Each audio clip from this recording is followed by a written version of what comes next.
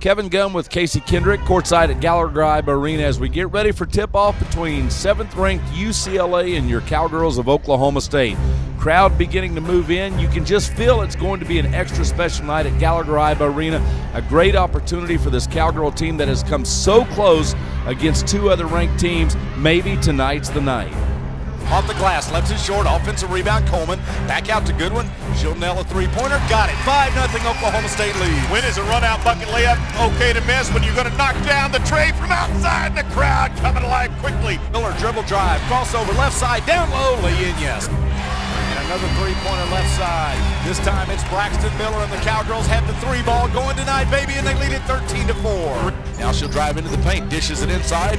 Jensen strong with the whole fade, shoots eight footer, no stopping that. Got no answer. Inside, Kaylee Jensen, another turnaround jumper, and she's already up to five points.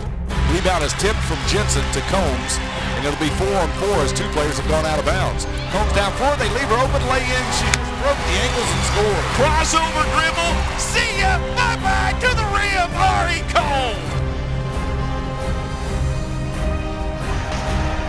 Goodwin takes it to the hole, goes right through Burke and wheels her way to the hole, gets another friendly bounce and scores. Out.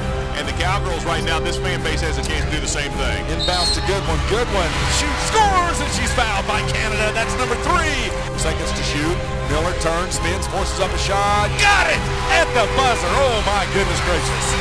And that's how the third quarter will come to an end. Jensen with it, left side, three-pointer for the exclamation point. Wow, she just blows it right through the bottom of the net. How about it? 87 points against the number seven team in the country. Three seconds, two seconds, one second, that's it. The Oklahoma State Cowgirls have knocked off the seventh ranked team in America, the UCLA Bruins, with a final of 87 to 72. And